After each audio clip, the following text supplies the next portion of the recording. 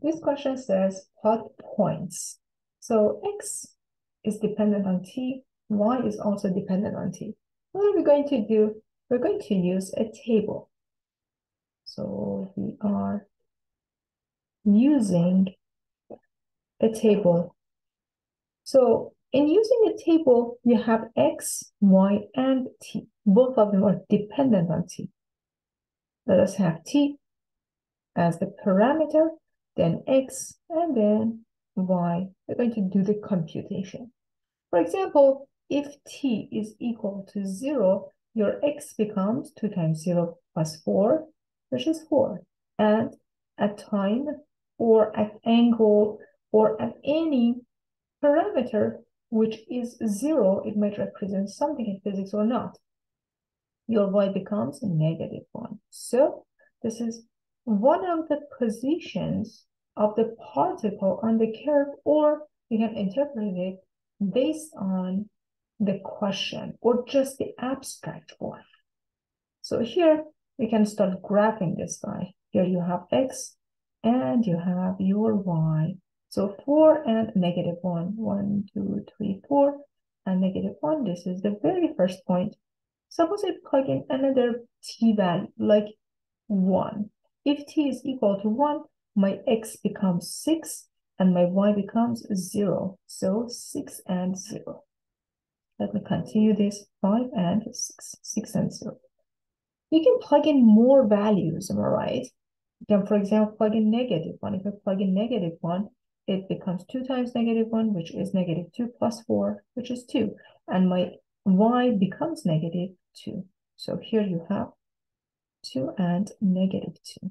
2 and negative 2. The behavior is going to be a line. So this guy is a line which is moving in increasing direction. So this parametric equation represents a line. So at the end of your work, write down something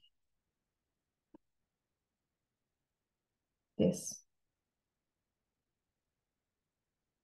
parametric equation represents an increasing line. If you have color papers or color markers, please use them. Why not? Make it more pretty. What else you could do? In another step, you could take t to be y plus 1 and substitute that over there. So note that. Here's a note for you. This is an important note.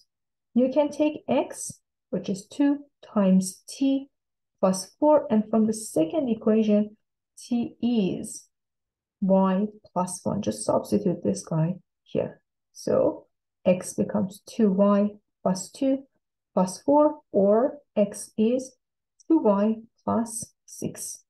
So basically you have an increasing line. 2y is x minus 6 or y is a half x minus 3.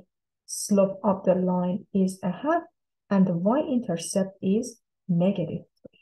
So either showing the algebra or using t to graph what you have here. Let me make sure the focus is okay so you can see the right hand side easier.